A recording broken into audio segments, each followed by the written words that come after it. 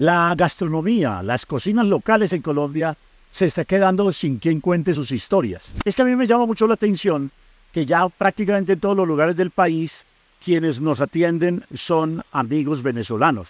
Muy bueno que les demos las oportunidades, pero muy malo por parte de los empresarios y de los chefs que no le estén enseñando a estos muchachos que cuando van a la mesa deberían contar las historias de los platos, saber cuáles son los condimentos, cuáles elementos de la naturaleza se están teniendo en cuenta, cuál es la tradición. Entonces uno pregunta cualquier cosa y nadie le sabe contestar nada.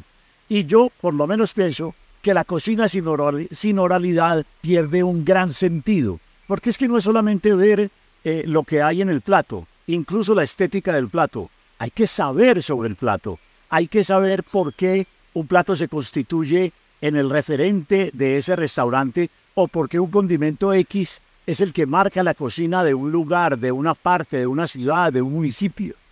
Yo creo que nos hace mucha falta la preparación de los jóvenes o de las personas que van a atender en la mesa.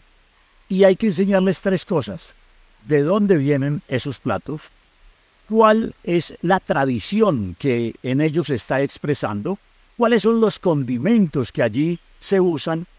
¿Por qué se mezclan de esa manera y cómo deben consumirse? Todas esas cosas son muy importantes si usted quiere que su plato que su restaurante, que eh, su marca, digamos, personal como chef salgan adelante.